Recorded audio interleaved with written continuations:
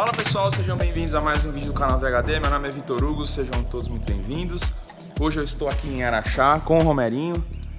Ah, estamos com o Type R aqui. E hoje, antes da gente seguir para um episódio muito importante, é, eu vou andar de Titano.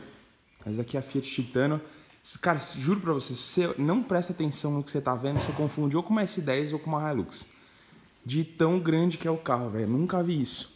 Mas eu vou mostrar pra vocês ali dentro. Essa daqui tá com um lift, né? Ela tá levemente levantada. É de test drive aqui da, da, da Zema, né? Da, da concessionária deles daqui da Fiat. Enfim, o carro é, o carro é diferente, velho. É diferente mesmo. Só que aqui, qual que é o ponto? É, vocês vão ver aqui dentro, aqui, ó. Olha só, quando você entra, já não parece tanto assim um Fiat, né? Olha só. Bom, já aqui dentro tá Titano. Ó, com banco elétrico, bem legal, hein?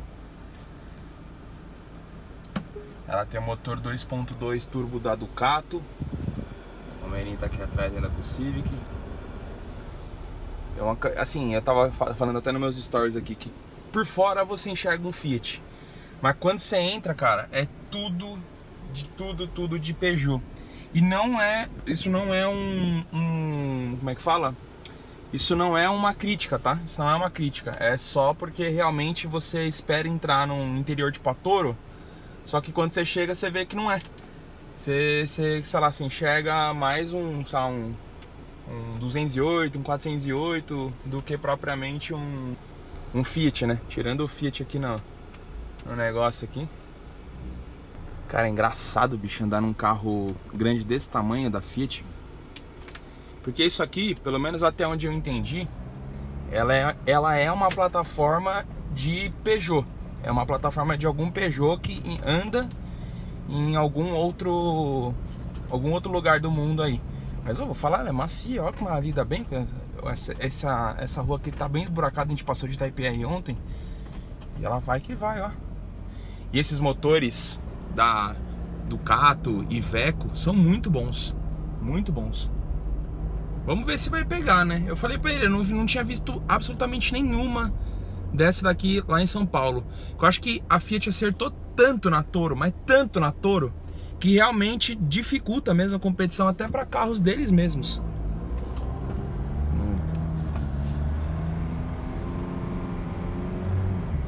Esperar o motor esquentar, né? E vamos que vamos. Ó o bichão lá, o Type R. Gente vai passar, é, só para deixar essa Titano aqui na Fiat ali, que pra, já que é test drive, né? O pessoal quer andar. Mas bem legal o carro, bem legal. Bem confortável. Ó, joguei no, no bueiro de propósito aqui para ver como é que ficava e, meu, vai de boa. Nem faz cócega. Ela realmente é chassi mesmo a sensação é realmente tá andando numa picape. E o Romerinho falou que ela faz curva pra caramba e tal. Eu vi ali a suspensão dianteira, é bem legal. E parece ser bem parruda. Geralmente a Fiat faz isso, né, cara? Ela só solta carro que, meu, que vai aguentar porrada mesmo, porque os carros da Fiat aguentam muito. O carro é gostoso, é gostoso. Você realmente sente quando você, tipo assim, se eu fechasse o olho aqui e pedisse pra alguém adivinhar, eu ia falar, tô andando uma Hilux. A sensação é muito parecida com a da Hilux, inclusive. Bem parecida mesmo. Bom, eu acabei nem falando. Hoje vai ser um dia muito especial. Esse episódio vai ser um, muito especial. Vocês vão saber em breve. Eu só vou contar quando a gente chegar lá. Mas eu, eu, eu imagino que vocês não, ad, não adivinhem muito, a não ser que a thumb entregue o que, que é. Né? Eu vou até pedir pro, pro editor fazer uma thumb tipo assim. Vocês não acreditam na surpresa que eu preparei para vocês, porque se eu colocar de cara o que que é, vai, enfim, uma... eu esperei um ano e meio, mas eu esperei para a hora certa. Vamos lá que vocês vão descobrir já. Aí, chegamos aqui na concessionária, tava perguntando pro Romerinho aqui, ele falou o seguinte, ele falou que esse carro, a mais completa, que essa daqui provavelmente sai por 239, é isso? 249, alguma coisa assim. E a mais básica manual 4x4 sai por 180 com alguma coisa, 190, mano. É imbatível o preço. É imbatível o preço. Eu não sei como que não vendeu tanto ainda. Impressionante. Ó, as estradinhas lá dentro, os Abarth. Animal.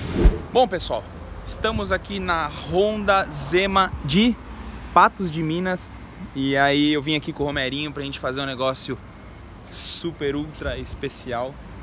Aconteceu de uma forma muito inusitada, porque foi o seguinte. Setembro, é, julho agora a gente foi viajar pro Goodwood e tal, tava com o Lucas do Auto Super, tudo aconteceu lá, se, se você não viu esses vídeos ainda, corre lá pro vídeo do pro, pro canal do Lucas, assiste lá muita coisa que a gente fez. E lá a gente conheceu um monte de gente, inclusive conheci o Romerinho. E lá a gente batendo papo e tudo mais sobre, né, todo mundo, eu sempre deixei muito claro para todo mundo que eu queria um Civic Type R. E aí a Honda tava com dificuldade de arrumar os de frota e tal, e papo vai, papo vem, papo vai, papo vem. Em agosto o Romerinho me ligou e falou, ó, eu tenho três Type R aqui, dois que já estão pronta entrega e um que ainda tá para chegar.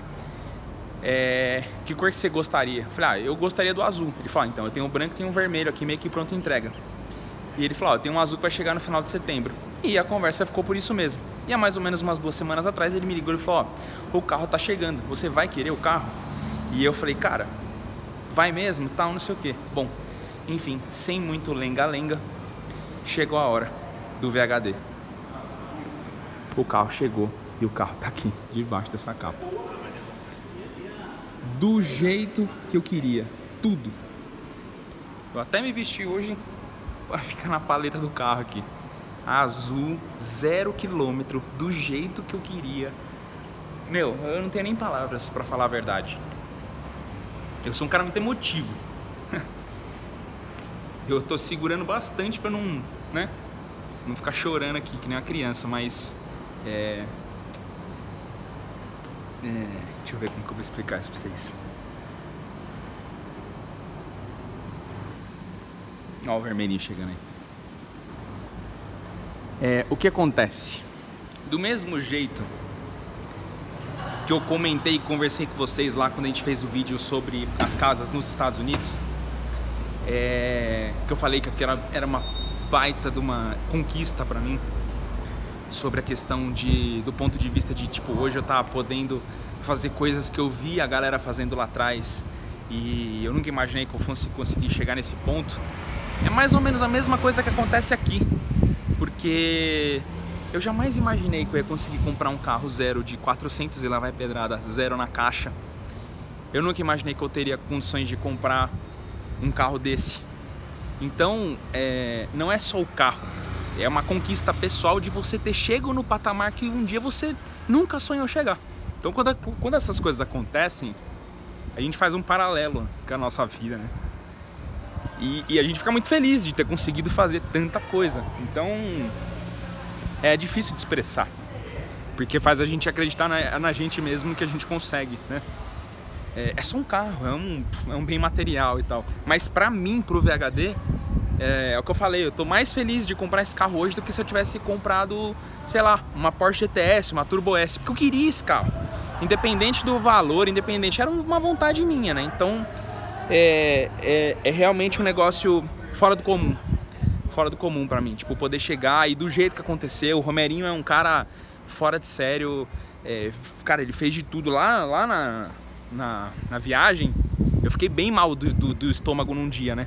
Eu comi um negócio que não me fez muito bem e fiquei bem, bem mal. O Romerinho fez questão de ir lá, fez um fubá pra mim, pra me sentir melhor, que eu tava fraco, não tava sem comer, alguma coisa que entrar no meu estômago e eu não ia vomitar e tal. Então, assim, o moleque é 100%. Eu não tenho como agradecer e ainda mais depois de ter feito isso aqui. Cara, os caras me entregaram um quadro. Eu vou postar a foto aqui pra vocês. Eles fizeram um quadro meu do lado do carro. Então, assim, inacreditável. Inacreditável. Bom, vamos, vamos pro que interessa, né? Vamos puxar essa capa aí. Vamos puxar essa capa aí? Vou ficar aqui pra mostrar pra vocês, ó. Dá uma olhada.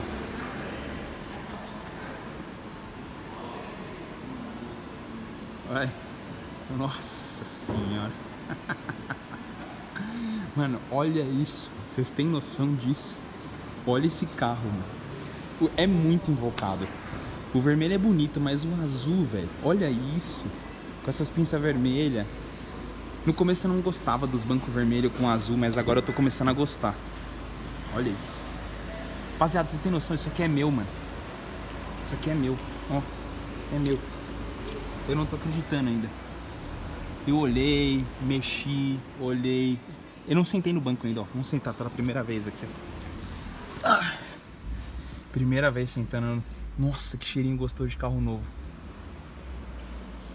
Não é só, não é só a primeira vez que eu sento.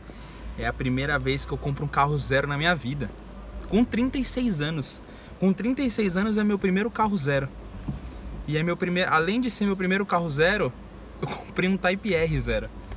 Um carro que não tinha no Brasil há um ano atrás. Que loucura, bicho. Eu vou demorar uns dias para acostumar com a ideia disso aqui, de verdade. Que eu tenho um Type R agora. Comprei ele zero na caixa. Eu sou a primeira pessoa que tá sentando nesse banco. Que animal, que animal. Inacreditável.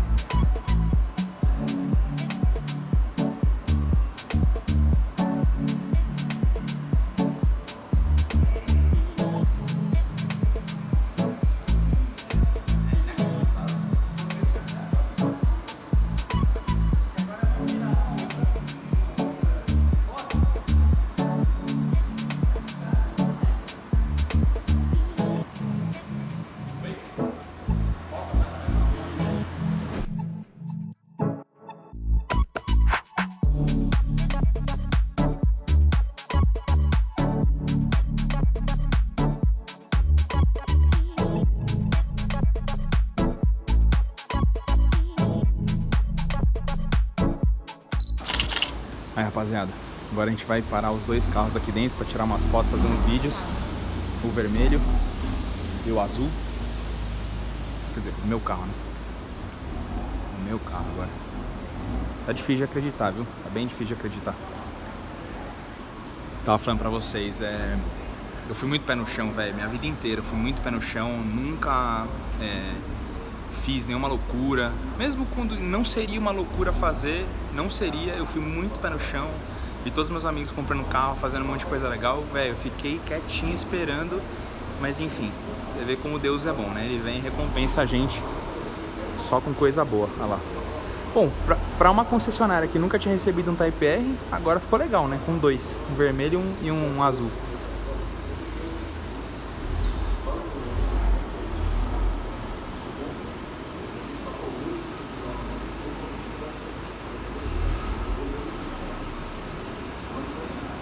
É louco, da hora demais. Difícil de acreditar, inclusive. Bom pessoal, vamos lá.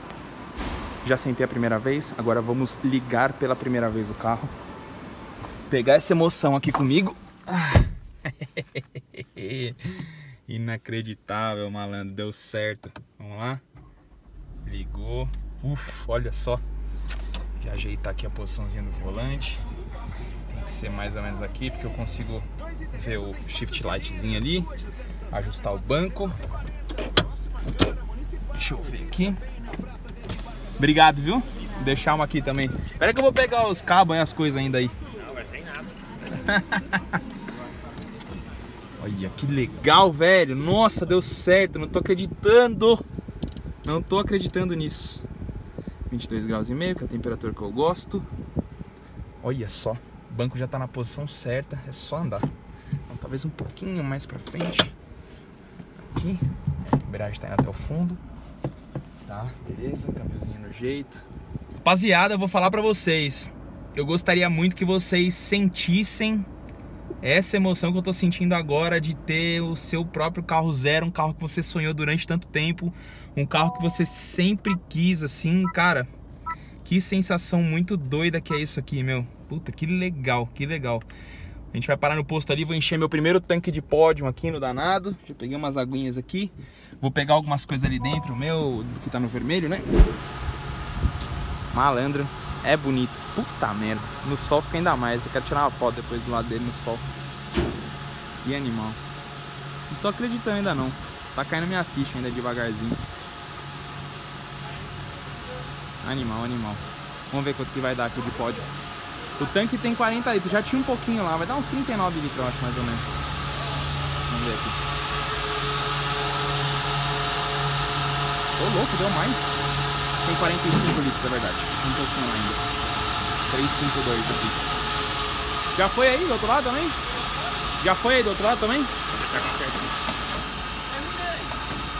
É, onde que paga, moço? Lá dentro? Bomba. Que os bombas aqui é aqui? É, ela sabe ali, né? Puta merda, velho. Nossa senhora. Meu Deus do céu. Inacreditável. Bom, pessoal, saímos da concessionária aqui. Uh, agora a gente tá voltando pra Araxá.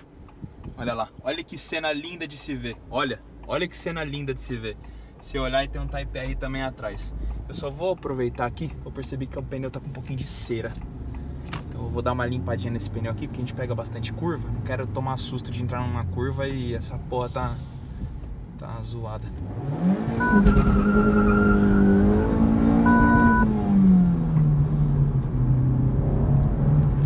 Entrei numa curvinha ali, eu percebi que ele deu uma, sabe? O pneu tá meio encebado, tem que ficar em, de ligeiro agora com o pneu traseiro. Porque os pneus vêm com uma cerinha, né? Eles vêm com uma cera no, no pneu. E aí, enfim, tem que tirar pra não tomar um susto, né? Às vezes você entra numa curva, o pneu escapa, esparrama e a troco de nada. Aí já dá uma queimadinha nele e já dá uma tiradinha na cera. Olha, olha, olha essa imagem, meus amigos. Essa imagem, nossa senhora, olha isso. Painelzão, ó, nossa, que coisa mais linda. É bonito demais. É bonito demais. Eu acho que eu fiz a escolha certa da cor, velho. O preto eu acho que apaga demais, some muitos detalhes. O vermelho é bonito, mas o, mano, o, o, azul é mais. E o branco, apesar de ser a cor dos Type R mesmo, tem vários amigos nossos que já tem branco. O próprio Vitor Apolinário tem um, o Alex Trambaioli tem um. Eu já vi muito branco. O azul realmente é mais difícil de ver. Então, e eu sempre quis ter um carro azul. Eu não tinha, tirando o S3 azul, né? Foi um dos carros mais bonitos que eu já tive. Eu não tinha, eu não tinha tido outro carro azul. O vermelho eu já tive dois, né? O GTI e o, e o, o Civic e o Uno também. O outro meu Civic assim era preto. O que mais? A BMW era preta, o Fiesta era preto. Ah, o A1 também era vermelho. Então tive quatro carros vermelhos já tá, e um carro azul só. Então tava na hora de ter realmente um azulzinho. Agora vamos voltar lá para achar e aí chegando lá a gente já finaliza esse vídeo aqui. Eu sempre quis comprar um carro zero para poder já acostumar ele desde zero do jeito que ele vai conviver. Eu tô tendo a oportunidade nesse aqui. Eu já dei uma velocidade maior nesse aqui, que eu não tô a menos de uma hora com ele do que eu fiquei com aquele ali. Eu rodei quase 500 km. Mas dá pra perceber, aquele ali tá mais soltinho. Por isso que eu já vou acostumar esse aqui já no jeito. Porque senão vai ser aqueles carro manco. E não é pra ser. Esse aqui tem que ser virado no giraia. Chegando em São Paulo, PPF full, full. Vai ter PPF até no para-brisa, para não, pra não, mas não correr o risco de ficar uma marca. Então tenho que ser até bastante sorte daqui até São Paulo para não pegar pedra, não pegar nada, nada, não marcar nada do carro. E aí, mano, PPF full no carro inteirinho, do, mano, de tudo, tudo, tudo, tudo. Eu queria muito gravar tudo esse caminho que a gente tá fazendo aqui pra vocês. Ia dar um trampo pro editor, né? Pra ele selecionar as melhores partes. Mas, cara, é... oh, eu vou lembrar desse momento aqui com o maior carinho do mundo, velho. O maior carinho do mundo de... de ter ido comprar meu primeiro carro zero, de ter sido um Type R, de ter vindo aqui, do Romerinho tá com outro, de eu ter vindo com outro Type R pra buscar um Type R sabe? Da gente vir na estrada os dois juntos, assim, tocando. Olha que dia lindo, velho. Olha que maravilhoso. Eu tô vivendo, mano, eu tô vivendo um sonho, assim, velho. Esse momento da minha vida tá sendo maravilhoso gravar também, porque eu vou guardar ele com a maior recordação, assim, maravilhosa da minha vida, cara. Muito legal, muito legal isso aqui que eu tô fazendo. Agradecer o Romerinho aqui mais uma vez, cara, por ter proporcionado tudo isso aqui, ter feito tudo isso ganhei um quadro animal que tá no porta-mala aqui, depois eu mostro pra vocês. Porra, foi tudo muito. Como é que fala? Tudo muito. Muito mágico, assim, de verdade. Conseguiram proporcionar um momento assim maravilhoso. Café para recepcionar, presentinho ali, café de, de, de moer, é, planta, orquídea e tal. Pô, muito legal isso, muito legal. Queria muito filmar todo esse caminho da volta aqui com vocês pra, meu, ter a lembrança da, de tudo, tudo, tudo, tudo, do começo até o fim. Mas eu não vim com GoPro, não vim preparado para isso, tô só com o iPhone aqui. Aí, óbvio, né? Ou dirige, ou ainda mais carro manual ainda, que toda hora você tem que ficar usando a mão direita aqui. Mas está sendo muito legal esse caminho aqui, esse tempo maravilhoso. Nossa, tudo, tudo, tudo, tudo, tudo, absolutamente tudo está sendo a favor. Animal. Só agradecer a Deus mesmo, porque graças a Deus é por conta dele que a gente vive tudo isso aqui, com certeza. Não tenha dúvida, jamais duvide dele lá em cima. Ele tá olhando para você o tempo inteiro. Faça as coisas certas, dê tempo ao tempo. O tempo dele funciona diferente do nosso tempo. Às vezes parece que tá demorando muito, mas ó, não esqueça. Ele tá lá em cima olhando por todo mundo. Só agradecer a ele. Demais. A gente voltou para Araxá. Foi ali na Fiat Zema, da, do Romerinho, lá do pessoal da família dele. Não filmei lá ainda, vou dar uma passada rápida com vocês lá. E depois a gente vai passar no museu da família dele, que tem muito carro legal lá. Então, é, só para dar o contexto do que a gente está fazendo, que vai fazer antes de acabar o vídeo. E aí pessoal, voltamos do, do passeio, vou mostrar um pouquinho aqui da concessionária para vocês aqui, ó. O Fiat Fastback Abarth. Esse carro é bem legal, a gente deu uma mudadinha ali nos meus 18 anos, ali na, no lançamento do Palio 1.8R, cara, um Abarth era o meu sonho. O pessoal caracterizava Palio de Abarth, era legal demais. Cronos, Pulse. Aqui o Pulse, qual que, é, qual que é esse modelo aqui? É o Impetus, 139 mil. Esse aqui já é 1.0 turbo. Olha que legal. Mobzinho. Ah, desculpa, mob. Na frente do mob é uma estrada. E essa estrada aqui é o que mais vende no Brasil inteiro. É isso aqui. É impressionante. É o que mais vende. Um negócio de doido isso aqui. Ó, ó, isso daqui não é a mais completinha de todas, mas ó, multimídia e tudo mais. A única coisa que eu vi é que ela não é um pouquinho mais apertada aqui, né? A gente tem a Toro lá, ela é um pouco mais apertada. Mas para quem tem criança ou não usa tanto, usa eventualmente, é uma baita opção. O Pulse Abarth, ó, olha aí. Mano, é bonito, cara. É bonito esse carro. O engraçado é que a gente, pelo menos em São Paulo, a gente vê muito, muito Nivus e pouco Pulse Abarth. Meu amigo Léo Fittipaldi tem um desse, bem bonito, cara, bem bonito. É, aqui, ó, mais um, um Fastback Abarth, né? Eu prefiro muito mais as rodas do, do, do Pulse do que do, do, do Fastback. Essa cor diferente também, né? Ah, é bem legal, a gente ligou ele aqui, deu umas aceleradas. Câmbio aí sim de seis marchas, uma multimídia gigante. Aqui é. Olha, e é de fibra de carbono e é soft touch isso aqui. Que legal. Banquinhos legais. Mais uma estradinha essa aqui, a Ultra, né? A Ultra ela é bem completa. Tem um frisinho na frente. Carro bonito, cara. Carro bonito e o, preço é muito atrativo. Essa daqui já é. Essa daqui é 1.3 turbo ou 1.0 turbo? Agora eu não sei. É, 1.0 turbo, essa no caso, 20 kgfm. E eu li recentemente um negócio muito engraçado sobre a Fiat que a Fiat é um dos a Fiat do Brasil é uma das únicas empresas que não que nenhum desses carros tem em outro lugar do mundo. Ele só tem no Brasil. Porque ela faz carro pro brasileiro que tem. Eu vi o cara da Jack Motors lá, esqueci o nome dele, que cara é um monstro. Ele falando que a Fiat ela adapta pro, pro preço do, do bolso do brasileiro. E que não são todas as marcas que estão assim, por isso, por isso que vende tanto. Por isso que vende tanto. Então, bem legal a estratégia deles, acho muito legal. E se você for daqui, de Araxá, dessa região de Minas, não esquece de vir na Zema também, Zema Automóveis, e comprar o carro aqui também. Bom, rapaziada, depois de um dia cheio de novidades, cheio de emoção, cheio de tudo, é, não filmei aqui, mas eu tive que ir pro banheiro uma hora pra dar uma choradinha, que eu não tava aguentando, tava entalado aqui, tava um nó na garganta. E foi muito bom, é, esse episódio foi um, realmente uma realização de criança, uma baita conquista pessoal. É, eu faço muitas vezes eu mostro tudo isso aqui para vocês com a intenção de realmente de como é que eu posso dizer?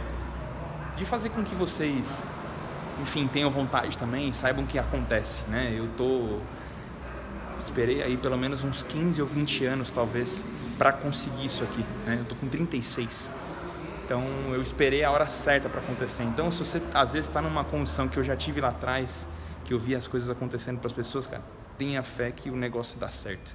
Essa é a mensagem, porque acho que não tem exemplo melhor de eu, né, aqui. Talvez você que está assistindo aí agora, você que chegou faz pouco tempo, ou você que está acompanhando minha trajetória já ali desde 2016, quando eu comecei a postar vídeo aqui no YouTube, talvez a coisa pareça mais simples para você, mas cara, o processo é igual para todo mundo. Então acredita que no processo que o negócio acontece. E obviamente agradecer a ele, né? De novo, agradecer a ele porque ele é responsável por tudo isso aqui.